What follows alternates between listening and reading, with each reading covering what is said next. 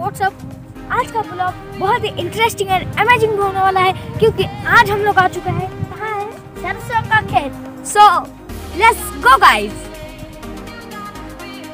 hi guys how are you आप सब कैसे हैं? मैं उम्मीद करता हूँ आप लोग अच्छे होंगे।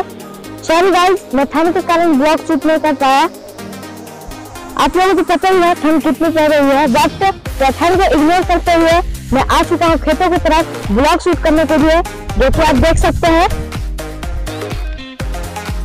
गाइस हम आपको दिखाते हैं सरसों का खेत, जो कि आप देख सकते हैं। दूर दूर तक पीली पीली सरसों की पीली फूल नज़र आ रही है।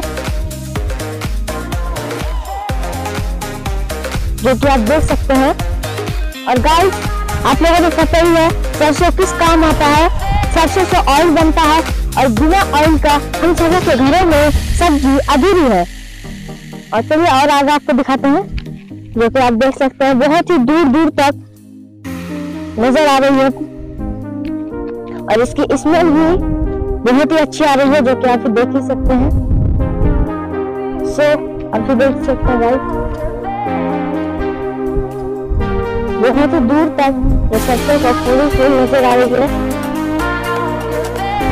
और मैं अभी मेरे छोटे भाई भी आया है। वो भी मेरा अभी चार पाँच तोड़ दे। जो कि आप देख सकते हैं, बहुत दूर आ चुका हूँ। और पूरा जो है मेरे हाइट पे। थोड़ा सा कम है जो कि आप देख सकते हैं, बहुत ही खूबसूरत नज़र आ रहा है। और अच्छा भी लग रहा है। और एक चीज़ आपको बता देना चाहते हैं तो चीज़ बताते हैं।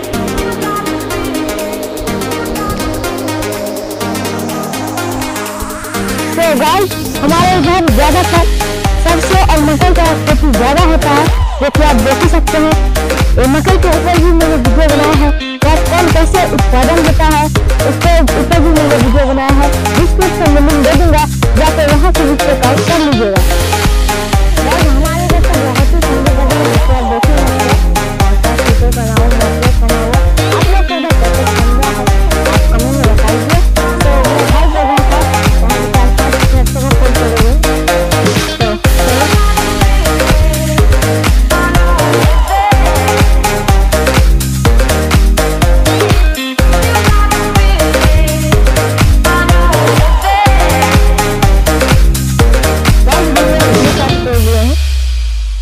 भाई साहब तो दोनों भाई बहन कर रहे हैं, दोनों को दूँगा, खेलने के लिए।